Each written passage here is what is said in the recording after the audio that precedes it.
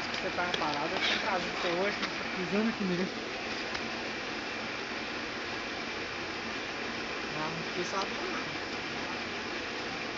Ah.